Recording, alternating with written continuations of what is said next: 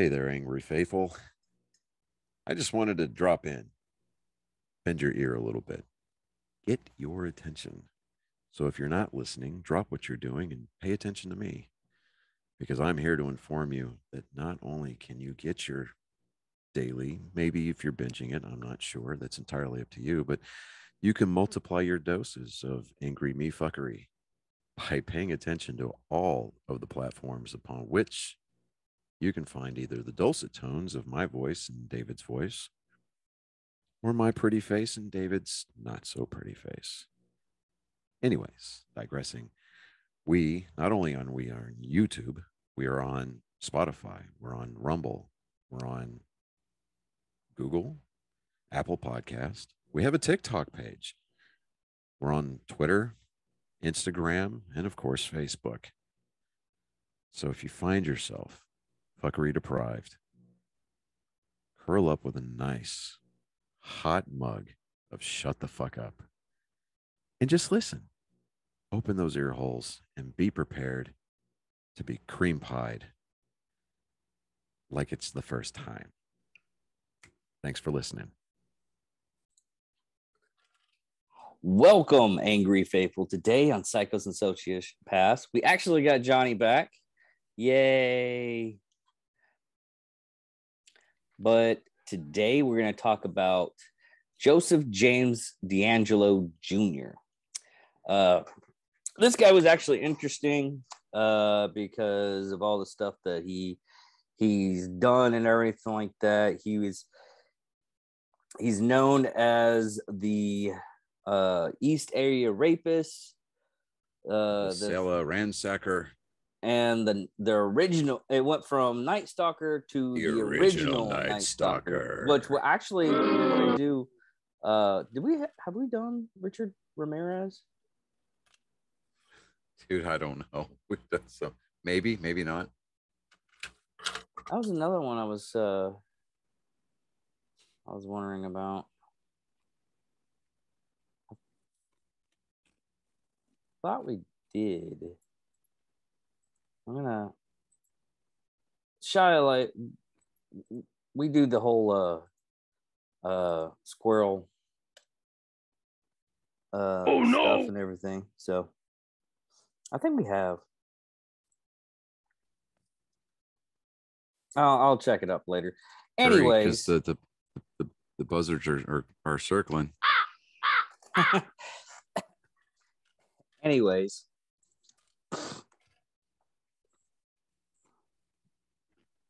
uh, Joseph James D'Angelo Jr. was born November 8th, 1945, in Bath, New York. That's an actual town, Bath.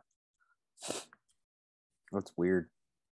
Uh, to Catherine Louis de Lewis DeGoat, DeGrot, sorry, uh, and Joseph James D'Angelo, a sergeant in the U.S. Army.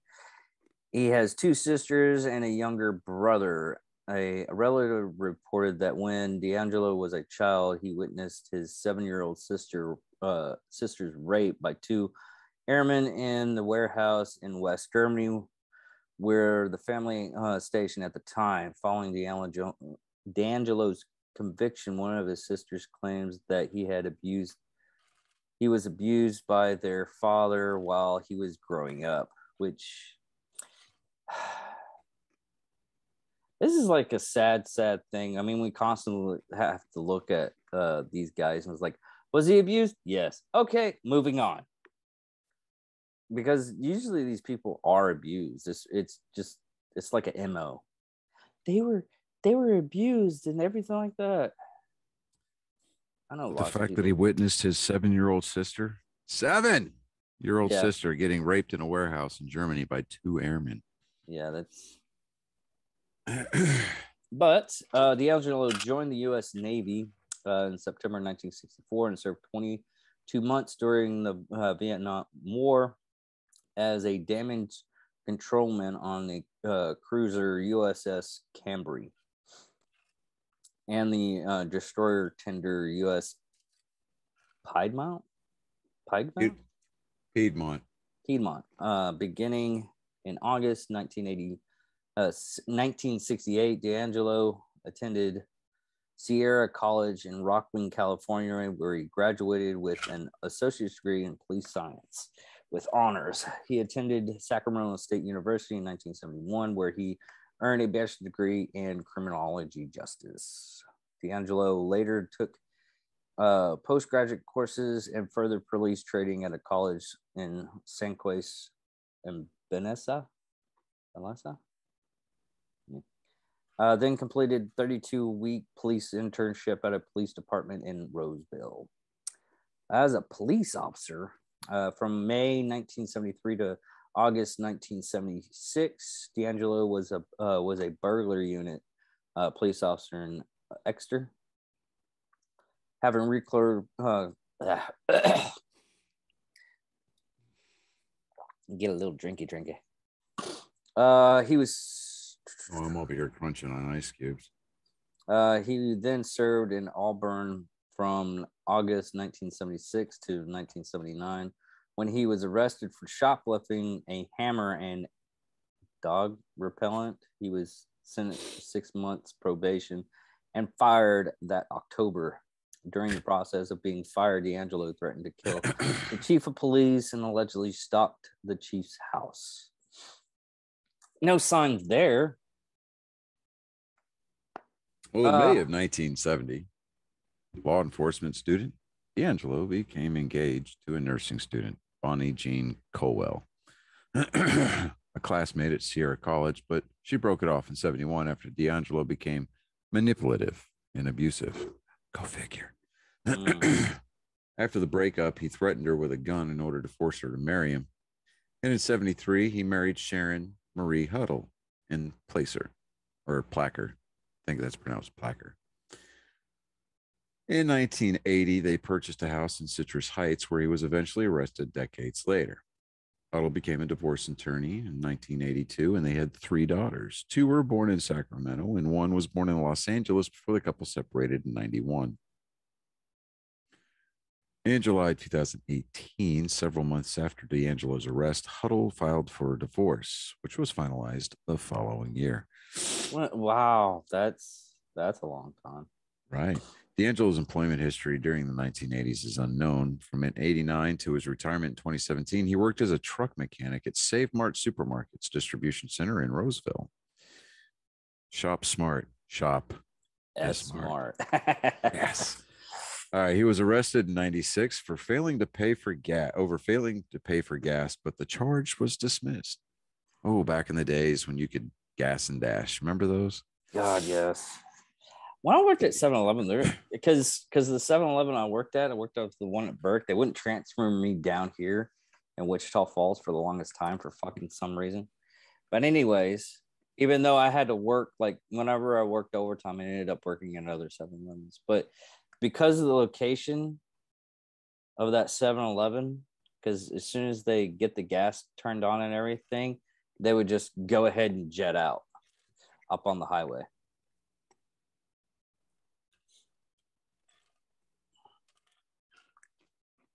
Well, until go ahead. and, until they actually told me i was like listen this is a known site for for this they should leave their money uh not even a, it was it's like some of the people were like can i just leave my uh, card i was like no and now they're everything's like uh, Pay uh at the can pump. pay at the pump and everything so it doesn't really matter Well, okay. D'Angelo's brother-in-law claimed that D'Angelo would have been- casually bring up the East Area rapist in conversation around the time of the original crimes.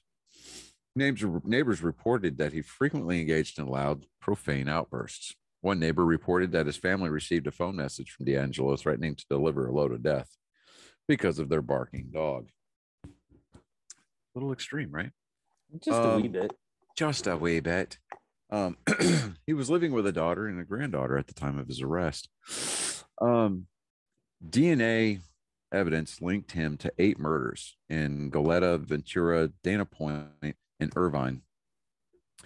Uh, the other two murders in Goleta lacking DNA evidence were linked by modus operandi or MO. For those of us who are into the whole brevity thing, um, D'Angelo pleaded guilty to three other murders in two in Rancho Cordova and one in Visalia. Or hold on, that's Colin. Hey, bud. Oh, hi. Hi. What can I do for you? So I just got some pretty big news. They're they're they're gonna come out with a VR Assassin's Creed game. An Assassin's Creed game in VR. Hold on just a sec. Hold, hold on, hold on. Ladies and gentlemen, uh, programming note. We're temporarily going to break in on our psychos and sociopaths uh, segment for breaking video game news brought to you by Colin. Do, do I need to call you at a later time? No, you go right on ahead. We're we're recording. This is this is live. People can hear you. It's all good. Um, it's gonna be called uh, Assassin's Creed Nexus, and the Tom Henderson guy announced it. You're gonna be able to play as like Ezio and some of the other assassins. And you're gonna be able to delete the fates, and like you have to hold down or press a button. You gotta flick your wrist to like activate the hidden blade. Mm-hmm. You're and you get to climb and all that. More than likely, the game will be broken when it comes out, and it will require probably like a six gig update for a day one, a day one Well, patch. But but it's it's um I'm not I'm not sure if it's gonna release on PC, but I know for a fact it is going to be released on Meta VR, which is like the Oculus. Right. So And the world's largest belt buckle in Uranus. well, I'll, I'll talk. In the morning, yes. There will be bacon. There will be eggs.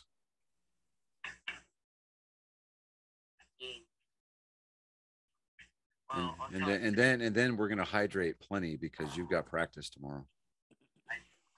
Yep. All right. Love you guys.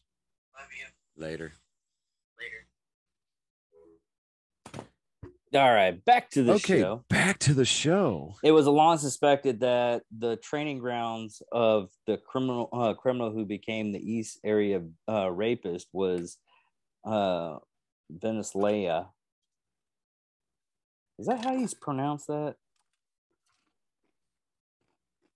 Oh wait. Visalia. Yeah, I was gonna say Visalia. Uh, Visalia crime uh, dating back to the early May 1973, and other sprees like that of uh, the Cordova cat burglar and the Excelsior Rans Exter ransacker, as well as the the Visalia Visalia. uh, burglaries that took place after the McGreen shooting. McGowan shooting. McGowan are now suspect to be linked as well. Over a period of 20 months, D'Angelo is believed to have been responsible for one murder and around 120 burglaries. I'm trying to think. Okay. Okay, 20 months. That's okay. I was just trying to do the math on that real quick. It's like 120 burglaries. It's like in 20 months, at least one a week or so. In late uh, April 2018, the Visalia uh, police chief started that while there is no DNA evidence linking D'Angelo to the Central Valley cases, his department had uh, other evidence that played a role in the investigation and was confirmed that the villains that God, I, I don't know why I can't do that word. Uh, the ransacker had been captured, though the status status limitations for burglaries uh, each expired. D'Angelo was uh, formally charged on August 13th, 2018, with the first degree murder of Cla- Claudia. Claudia Claude Snelling at 75. In 2020, D'Angelo pleaded guilty to this uh, Snelling murder. And we're just gonna bypass the burglaries and just go to the East Area Rapist. D'Angelo moved to Sacramento area in 1976, where his criminal uh, escalated from burglary to rape. See, on, on most of these cases and everything, though, they go from it's like a what do you call it? That little they inch away to see what they can get away with. Right. And that's and that's always the case. It always starts somewhere. It like uh the exhalation exhalation Exhilaration. yeah of the crime. No, uh, escalation of the crimes. yeah. had to work, work my head. I mean, they go from one, they go to the other. A lot of people believe that you know, at one point in time, the once they get to a certain point, in some cases, that the person would just go, "Oh no, I I think I could stop now. I'm I shouldn't be doing this anymore." But if they don't get caught and everything like that, sometimes, sometimes, very rarely, uh, they actually turn over a new leaf and everything. So, but the crimes initially uh, centered uh, on the unincorporated areas in Charmin. Dang words.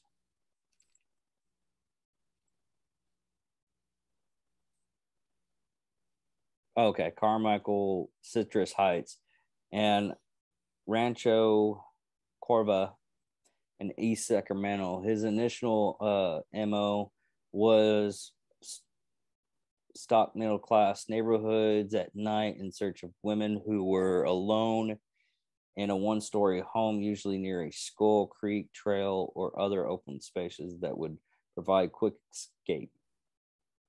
He was seen a number of times, but always successfully fled. On one occasion, he sh- he shot and severely wounded a young pursuer.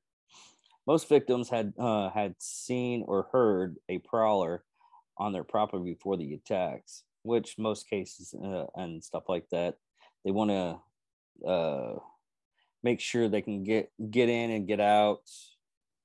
Uh, figure out what's a good good way to uh, they basically stalk the person. Mm-hmm.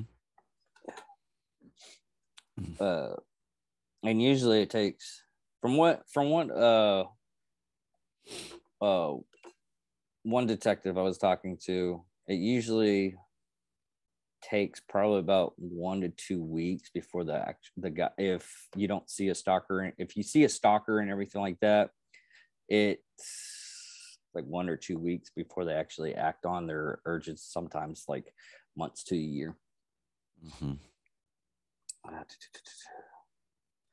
But the police believe that the offender uh, would conduct extensive reconnaissance and targeting neighborhoods, looking into the windows and prowling in the yards before selecting a home to attack. It was believed that he sometimes entered the homes of future victims to unlock windows, unload uh, guns, and plant. Ledger Day? Plant litigers. Hold on. What's that?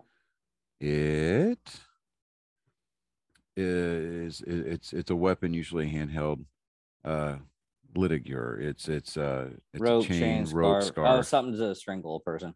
yeah Uh, he frequently telephoned future victims, sometimes for months in advance, to learn their daily routine. God, I, I, I don't, I, I don't like stalkers. It's so weird. Uh, it, it's just, it's just that diminish of, uh, uh, you're destroying a person's uh, ideal of security mm-hmm. because you know you get to point a to point b to point a to point b and it's just it's so scary because they're always calling you they're always uh especially if it's a person that you know they're always like wanting to know where you're at what you're doing i just i don't even like what if you tell me it's like hey i'm gonna go over the uh over this place blah blah blah unless I personally know you, I will not give you any kind of fucking information. Mm-mm. If uh, if it's a person that like I somewhat know, and I'm like, uh, I'm gonna go over here. Oh, why you doing that? It's not your fucking business. I barely even know you.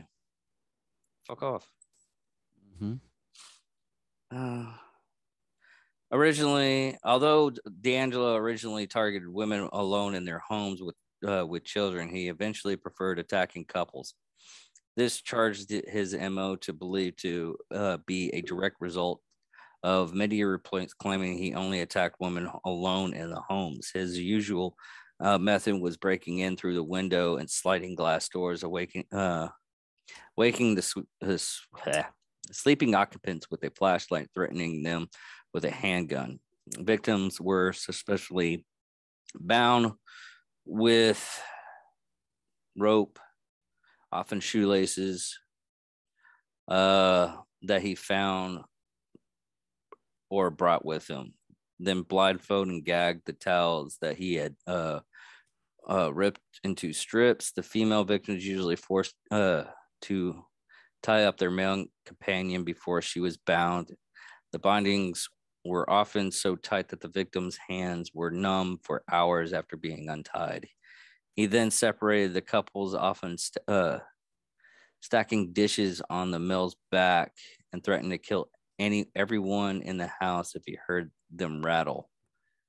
He would move the woman into a living room and rape her, often repeatedly. One re- one police report that D'Angelo repeatedly said, "I hate you, Bonnie." During a 1978 attack, the 70, 37th attack. God damn. That that is so. Who the fuck's Bonnie? Anyways, D'Angelo sometimes spent hours in the home ransacking closets, drawers. Barney was the nursing student that broke up with him. Oh, okay. Yeah, makes sense now.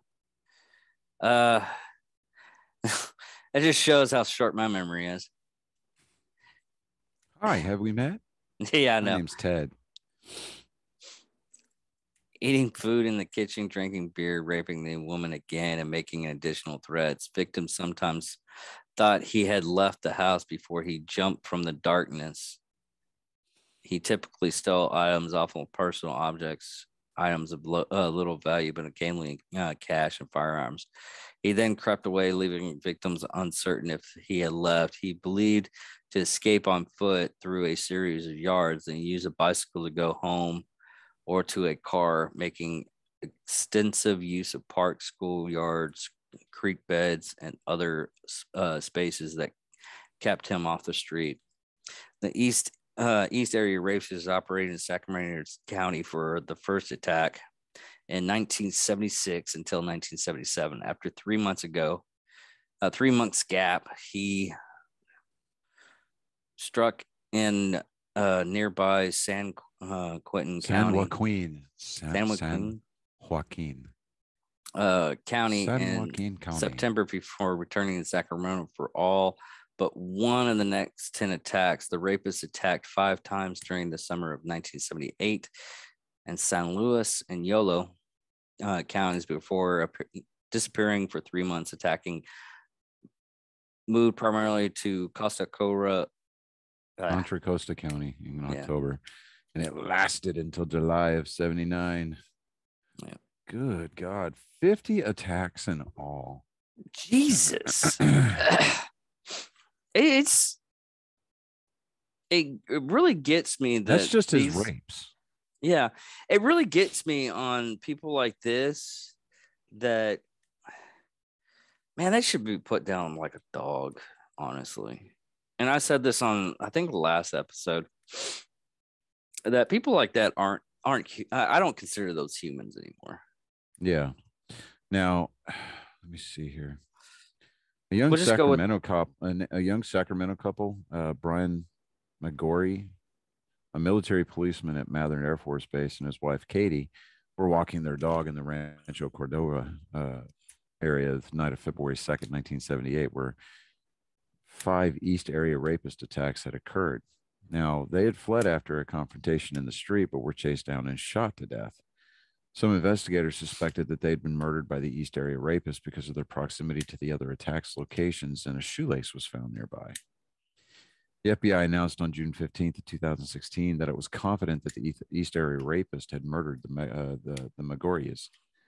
And on July 29th, 2020, he entered a plea, plea of guilty to those murders. Mm. Um, the original Night Stalker cases went from 79 to 86. So shortly after the rape committed on July 5th of 79, he moved to Southern California and began killing his victims, uh, striking first in Santa Barbara County in October of that year. But the attacks lasted until 81 with a lone attack in 86. But the couple in the first attack survived, alerting neighbors and forcing the intruder to flee. The other neighbor victims were murdered by gunshot or bludgeoning. Uh, since he was not linked, uh, DeAngelo not being linked to these crimes for decades, he was known as the Night Stalker in the area before being renamed the original Night Stalker after serial killer Richard Ramirez received the former nickname. Um, so there were seven murders during that span. Um, 79, 80, 81, 86. Uh, in December of 77, somebody claiming to be the East Area rapist sent a poem, The Excitement's Crave, to the Sacramento Bee, the Sacramento's mayor off, uh, mayor's office and television station, KVIE. Uh, December 11th, a masked man eluded pursuit by law enforcement personnel after alerting authorities by telephone that he would strike on Watt Avenue that night. This is the poem. All those mortals surviving birth, upon facing maturity, take inventory of their worth. To prevailing society, choosing values becomes a risk. One's self must seek satisfaction. The selected route will unmask character when plans act, take action, accepting some work to perform at fixed pay, but promise for more. Is a recognized social uh, norm as is decorum seeking lore, achieving while others lifting, should be cause for deserving fame. Leisure attempts excitement seeking, what's right and expected seems tame. Jesse James has been seen by all in Son of Adam as an author. Son Others now feel, huh? Son of, Son Sam. of Sam. Did I say Son of Adam? Son of Sam. Yeah. Thank you. Wow. Okay. We keep every, each other uh, Right. Right. Other uh, others now feel temptations call. Sacramento should make an offer to a movie of my to make a movie of my life. That will pay for my planned exile. Just now, I'd like to add the wife of a mafia lord to my file. Your East Area rapist and deserving pest. See you in the press or on TV. God, uh, see, he, he it, it, it it started out right, you know, started out pretty promising, but it just the rhyme, the pentameter, just just the, the whole pace of the thing just went to shit. Yeah.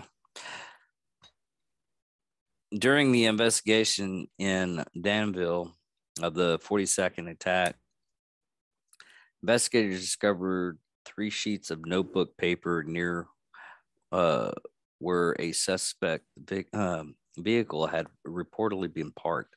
They believe the pages were dropped accidentally, perhaps by falling out of a bag. The first sheet appeared to be a homework essay on General George Armstrong Custer. Man, that's a tongue twister. Uh, the second sheet contained a journal style uh, entry describing a teacher who had made students write lines which the author found humiliating. If you want to read that, you're a. Okay. Mad is the word. The word that reminds me of sixth grade. I hated that year.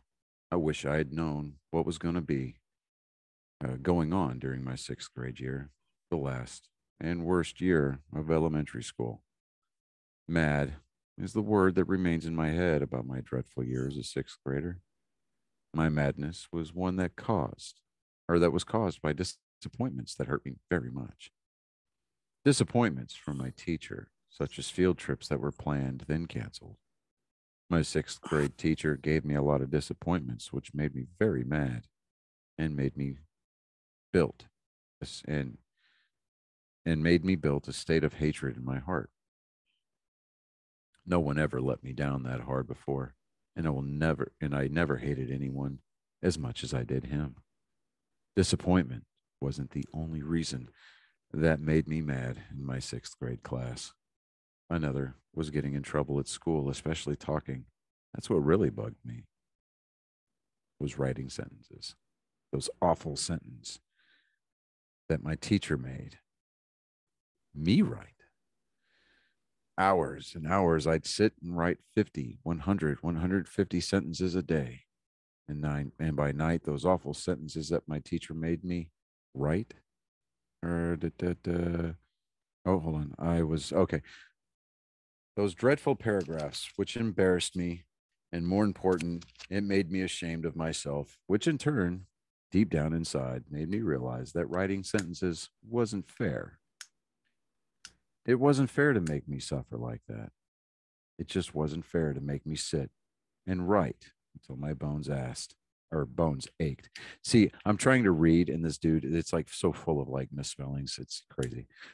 Um, until my hand felt every horrid pain it had ever had. And as I wrote, I got madder and madder until I cried. I cried because I was ashamed. I cried because I was disgusted. I cried because I was mad. And I cried for myself. Kid who kept on having to write those damn sentences. My angriness from sixth grade will scar my memory for life, and I will be ashamed for my sixth grade year forever. Like, boo fucking who? Get I- over it. I know, right? But uh he did actually phone up uh several times to the police department. The first uh, uh one he was just announcing that he's the East Side rapist, but it was never recorded after that that uh they started recording him, uh taunting the cops and everything saying you'll never ca- uh you're never going to catch me the east area rapist you dumb fuckers. I'm going to fuck again tonight. Be careful. And he ended up attacking somebody You'll Uh, never catch me, Kappas. and he was right. They the next victim was attacked that night. Uh he even did it on 1977 christmas season. He varied merry christmas it's me again. God some of these people back then now nowadays is a caller id with almost everything. And you can't get away with that shit now. Nope. but i mean back that that's just when did when was caller id like starting to make prevalent like In the 90s. No, that was like 80 something no, it was the 90s. Yeah, it was the night late, late 90s.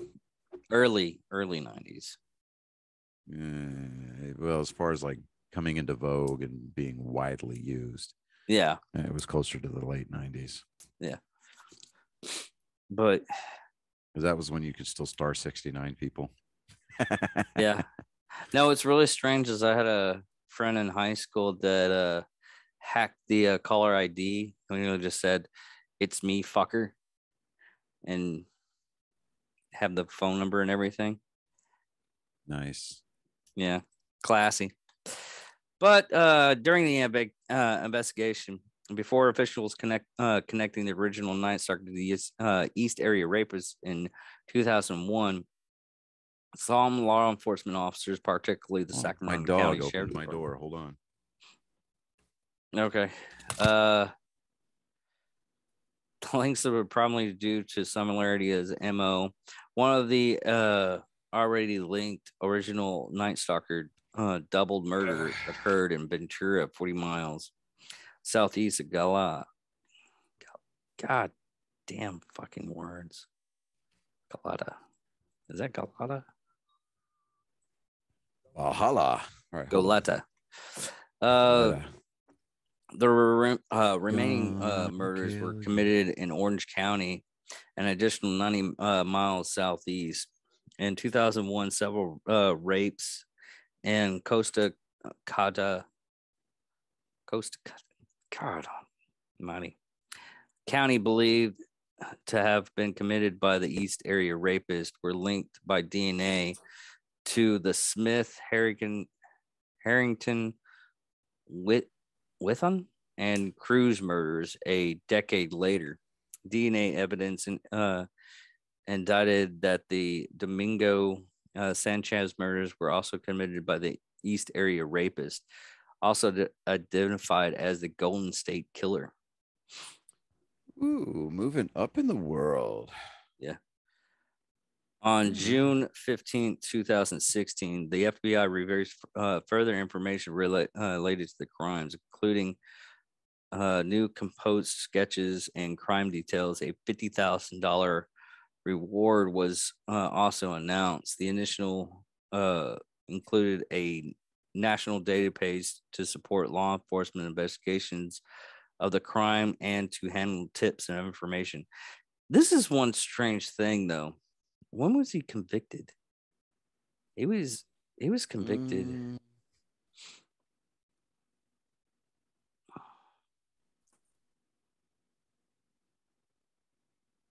No, date apprehended was uh, April 24th, 2018.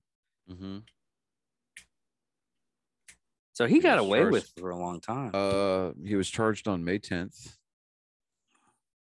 And then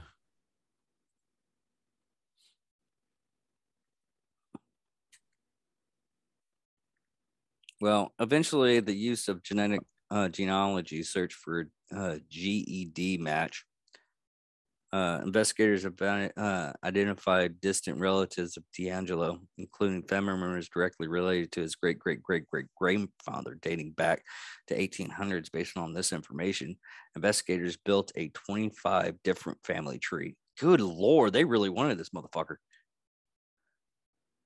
The tree that eventually linked to DeAngelo also contained approximately a thousand people over the course of a few months. Investigators used other clues like age, sex, and place of residence to rule out suspects uh, pop- populating these trees, uh, eliminating suspects one by one until only DeAngelo remained. God, that's just that's a lot.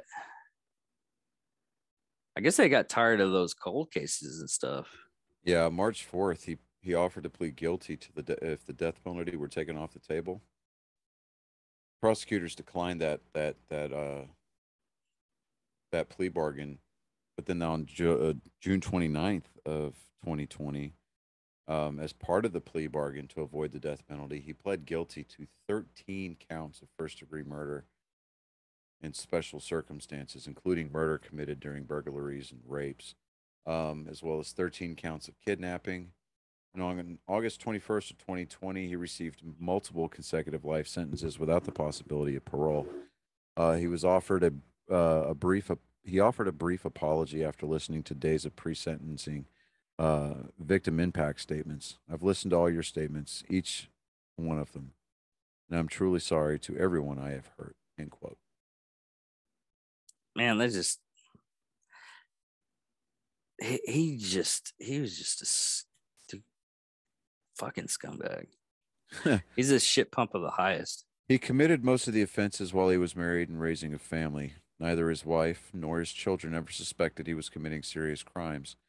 His eldest daughter thought he was the perfect father, while his wife believed his reasons for being away from home. Uh, DeAngelo, wait a minute. Uh, DeAngelo made uh, confessions of sorts after uh, arrested that cryptically referred to his inner personality named Jerry, who had forced him to commit the waves of crime that ended abruptly in 1986. See, it's hard to believe stuff like that only because uh on on one note of it's one of those things as soon as you get arrested you start trying to figure out a way to uh get a, get out of it. Because a lot of the criminals that I, I worked with when I was working at uh corrections they never did the crime. Or if they come up it's like well if i did this and this a little bit differently i would have gotten away with it Hindsight's twenty twenty. It's a pain in the ass. I'm telling you. Yeah. According to uh, Sacramento uh, County Prosecutor uh, Thien Ho, DeAngelo said the following of uh, himself while alone in the police investigation room uh, after his arrest in April 2018. I didn't have the strength to push him out. He made me. He uh, went with me. It was like in my head. I mean, he's part of me. I didn't want uh, to do those things. I pushed Jerry out and had a happy life. I did all those things. I destroyed all those lives. So now I have to got pay the price. See, he, oh man, I really, I'm, I'm looking at this right now. I'm trying to figure out. They didn't have any kind of psychologist or any kind of thing. So, so he doesn't have a split personality syndrome. And that's that's pretty much it on this one. But it's just on on, on certain aspects of it. He, he, God, I wish he had gotten caught sooner. But I mean, they taunted people. They couldn't trace the calls back then, the way right. they can do now. Uh, I mean, they didn't really drop the ball on this one as kind of the the situation of the time. They couldn't couldn't figure anything out. Yeah. He was he was actually one of those intelligence criminals that he didn't uh, he didn't make a mistake. Luckily, on certain aspects, I guess he didn't leave any uh, fingerprints on the knife they caught or the paperwork and everything. So, right. But other than that, this is this is one of those shitbag moments because he didn't get prosecuted until like the time frame of uh, um, May 16th of 2020. Right. But other than that, I'm David Dickerman. I'm Johnny Skelton. And this is Psychos and Sociopaths. Thank you for listening, everybody. Victory!